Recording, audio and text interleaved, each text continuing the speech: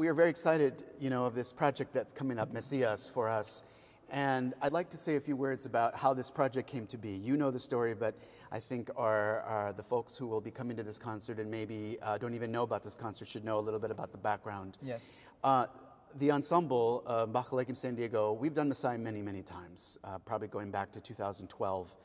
And one of the things that we've enjoyed doing is doing different versions and people say Handel's Messiah, but I think a more accurate description would be Handel's Messiahs, uh-huh. because he always changed. You know, he had different singers, different venues, and he was always, I think he thought of the piece as a living, breathing piece that he could change as he needed uh-huh. um, to perform it again. Uh-huh. And so uh, I think it was 2019, we performed, uh, and we actually altered a few arias that Handel never altered.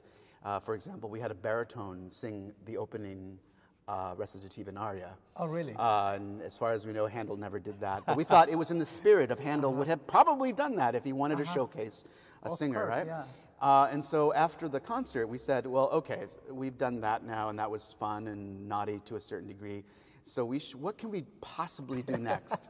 and I jokingly, one drink in, said, you know, I have this dream that I've had for a long time of doing this quintessential oratorio in, that's in English mm-hmm. to do it in Spanish. Yes. And everybody like dropped their fork and their drink and said, "Are you serious about this?" And I said, "Absolutely serious." Um, and it because of the fact that um, you know this as well that my first experience with uh, Messiah.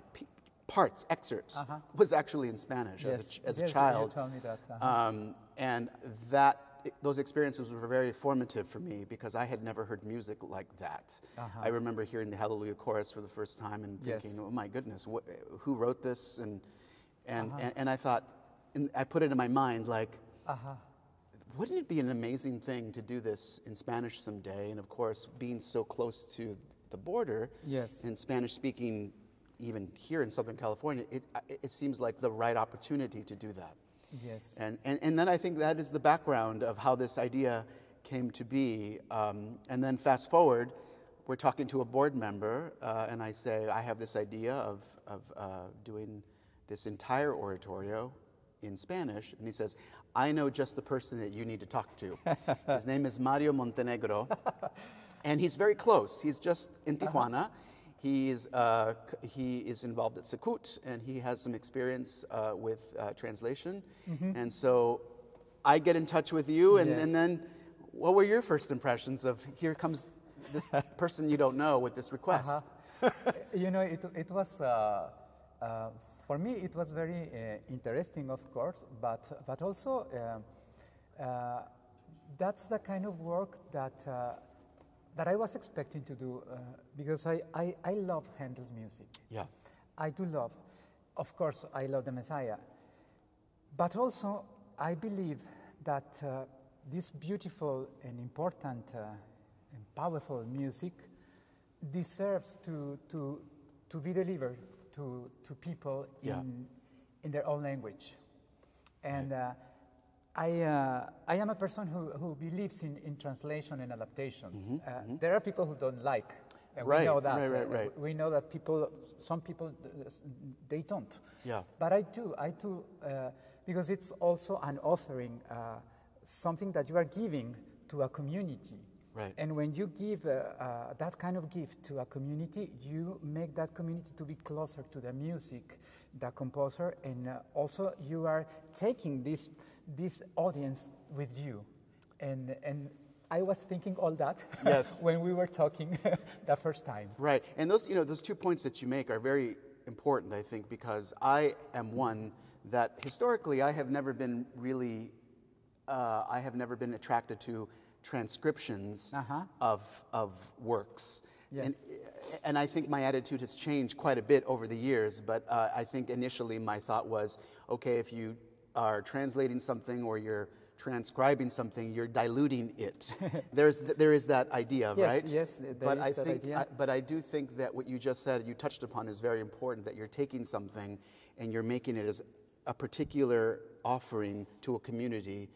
It's like yeah. a confection. like a confection. Uh, yes. To, to give it to someone. Right. And uh, of course, uh, any translation, any adaptation uh, means something that uh, loses a little bit, of Right. course, from the original. Right. We know that. But uh, there is other things that, that you may obtain. Right.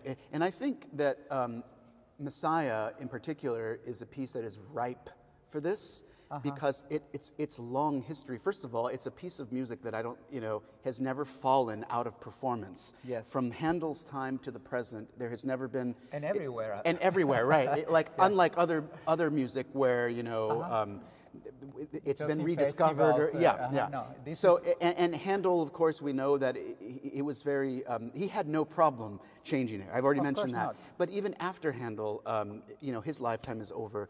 Mozart's own uh, version into German, Mm-hmm.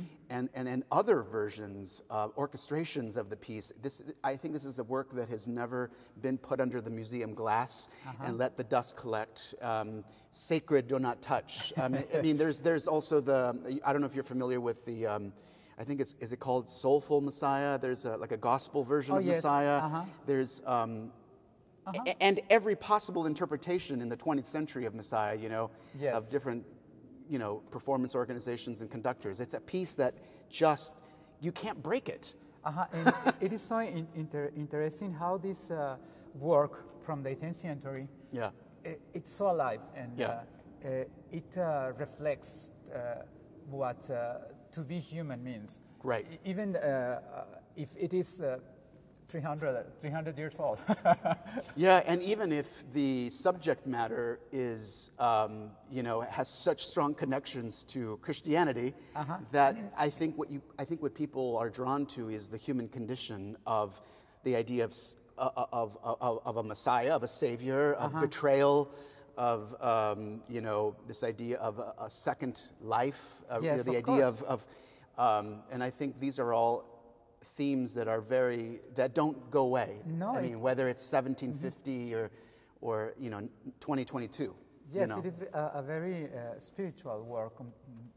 More than religions, than religious, it's a, a spiritual work. Right, right. Uh-huh. And you know that that was something that uh, was very difficult for me when I was working because uh, I I had that uh, need to keep that uh, spirit Yeah. from from the work, and it is a big uh, responsibility. Um, Handel decided to to take uh, literally Yeah. the text from the Bible. S- I couldn't do that. you know, the, the, Yeah. the, the, structure from, from one uh, language to another just doesn't fit. Right, right, So right. I, I had to, to, to keep that spirituality, to keep that, uh, that energy Right. uh, of, of the work, but uh, making changes. It, it, it, I, I, I had to do it. Yeah, so let's talk about that because um, I think i i so. We've been, you know, for those of you who are just watching this for the first, you know, watching this today, we started this process about a year and a half ago. Yes. From the moment I sent you, uh, uh, would you be interested? Uh-huh. To we are now weeks away from actually doing it. Yes. And in that whole time of translating, I think the best way to describe is a dance between Uh-huh. you have a literal translation um, versus the spirit of the piece, Yes. um, keeping the integrity of the music the whole Mm-hmm. time, because of course, I, did tell you that if you needed to manipulate some rhythms, by all means. But it, and I just I just said that it's not a museum piece, but it does feel a little, at least to me, a little dangerous, right? When you start to move a note that Handel put on a page, right? yes, of, of course, and, and also because the, the, the, the beauty is there. Right, right, right. Yeah, yeah, and we know it, it, it has worked all these years, right? Uh-huh. So, but can you say uh, more about that dance of, of um, uh, and I'm thinking of one movement in particular that we had a discussion on, which you you you sold it so well, and it was "All We Like Sheep Have Uh-huh. Gone Astray," and in the music, Handel has this moving line to depict this idea of somebody or a group that is Uh-huh. going astray. Uh huh. And I think I don't remember what word you used, but it was exactly the exactly opposite. And the way you described it, it was that I, I understand what you're doing now. So Yes, some, sometimes, uh, sometimes I had to, to take uh, the idea and, uh, and to put it in a different perspective, Uh-huh. but trying to communicate the same spirit. Right. And I did it in a couple of times because the music uh, uh, needed the rhythm Yeah. and uh, I needed the words. Right. But uh, I had to find a way to combine Yes. uh, the word, the structure of the language, with uh, uh, the spirit of the, of, of the message, of Yes. that specific uh, uh, moment. Right, right. So even if I was not literal, I tried to be um, faithful to the spirit of the music. Yes, yeah, yeah, and- and I think you, you, you triumphed greatly in that. And, and again, you know, uh, the spirit of the music and words and word stress, because of course, one of the unique aspects of any vocal ensemble or, or singing in general is that you have text to deal with, unlike, say, an instrumentalist. Ah, yeah. And so, uh, word syntax, uh, grammar, uh, scansion is so important to putting the right syllable at the right place and all these uh, challenges, that's, right? That's other thing. That, that- that's another thing that uh, it is very important. Uh, the text is to be sung, Yeah, and it has to fit uh, within the frame of the possibility for the singers. right. So when Handel was writing the, the, music, he knew that very well. He, he- knew how to, to, to write uh, for singers. And uh, the vowels are in- Right. in, in, the place where, where a singer needs uh, Yeah. for specific uh, ability to, Right. to, to be doing at, Right. at that moment. I was, I had to think uh, about that. Yeah, because you could have come up, you know, in some cases, solved it with a word that is exactly the word you want, but then you put, you know, you put a particular voice part on a really awkward s- vowel to do a melisma that, that would have, you know, Uh, uh, it wouldn't work. been, been, yeah, exactly. So, yeah, I'm glad you were thinking of those things um, because these are all elements I think that that that. It, it, it- it's more. It's literally more than, of course, just translating. It, it- it's a very, and not to mention the fact that the piece is, uh, since we do uh, a full performance of it, that is a lot of music. a lot of music, and, and you know, words, uh, we, we decided to do the alternative. Uh, You uh, did, uh, yeah. Arias. Yeah, I, I bless you because I should have told you we weren't doing those from the very get go. Uh-huh. Yeah, because we, we, you know, we have a playlist that we, that we follow. Um, I couldn't help but think that when uh, you were getting to the end of part two, the Hallelujah chorus, and the end of part three, the Amen, uh-huh. every time I got to those, I couldn't, what came to my mind was, Right now, Mario is probably breathing a sigh of relief that "Ha, I don't have to think as hard right now because Yes, this word course. this word crosses over. The amen is the amen. We're done. we I can I cannot think so hard at this moment. Yes, of course. When I when, when I had that um, moment, uh, Yeah. a word that fits, Yeah, yeah, yeah. and it's a whole number.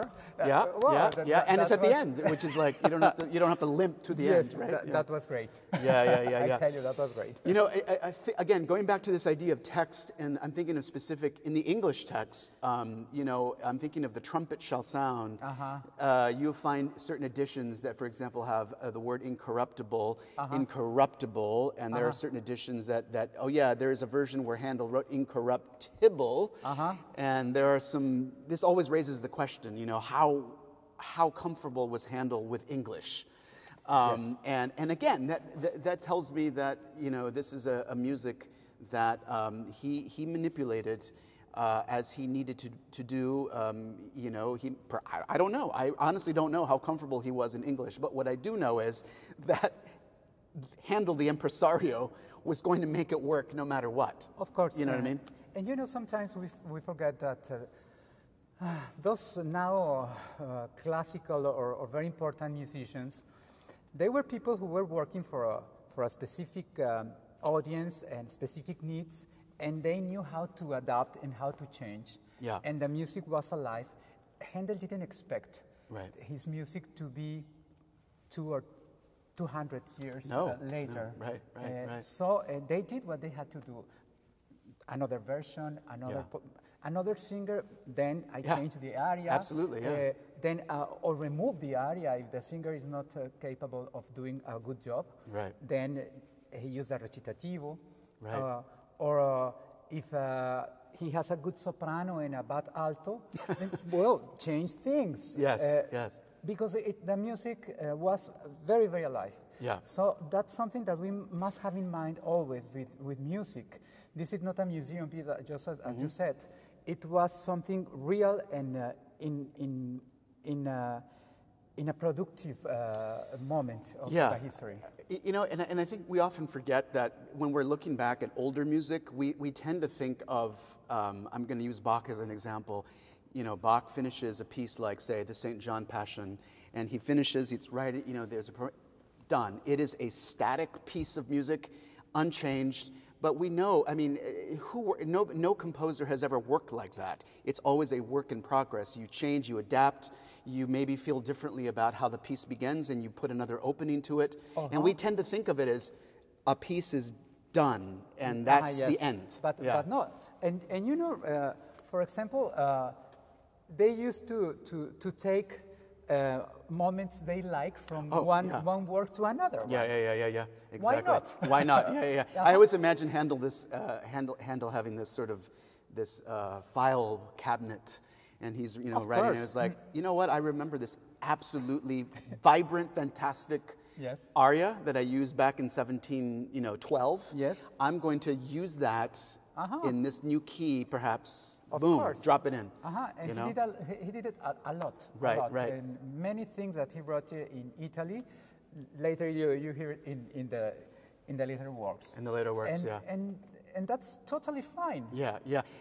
but we forget that nowadays we're so saturated in music that we can, at the push of a button, listen to all of the Handel oratorios. Just the, you know, just speaking of oratorios. Yes. I mean, if Handel wrote a particular aria in 1708, say, uh-huh. what are the chances of somebody in 1740 something hearing that music all over again? They probably have not even heard the, the first time it occurred. Yes, of course. I mean, because it was all live music, of course, you know. Of course, it, it is something uh, wonderful. The, yeah. the, moment we are living right now, it's great yeah. because we have all that possibilities to, yeah. to hear that music. Right. And uh, you know, people from uh, from the moment, the contemporary, uh, contemporary people, they didn't have the opportunity. Right, right. Only uh, a very few. Very few, right, right. Could uh, right. enjoy this music. Right, right. And now everyone can enjoy not just the Messiah, everything, everything from, yeah. from uh, one composer. Yeah. This is a wonderful moment to, to be alive.